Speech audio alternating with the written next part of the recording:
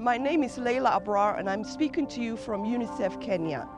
I would like to pose a simple question to you. When was the last time you heard of tetanus? It's hard to believe, but tetanus is still a threat for newborns here in Kenya and a devastating reality for their families. In fact, around the world, nearly 60,000 newborns still die a swift, painful death because their mother did not have access to tetanus vaccines. Fortunately, UNICEF and partners are helping to turn the tides against this terrible disease, and it's working. Maternal and neonatal tetanus was a threat in 59 countries, and today that number is 25. In 2010, UNICEF teamed up with Kiwanis International with the historic mission of eliminating this disease from the face of the earth.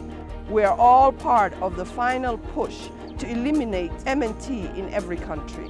It costs $1.80, less than a cup of coffee, to vaccinate a woman against tetanus and protect her and her future newborns.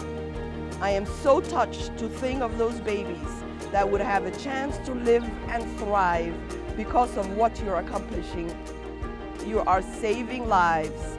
On behalf of all of us in UNICEF Kenya and the women and children we serve, thank you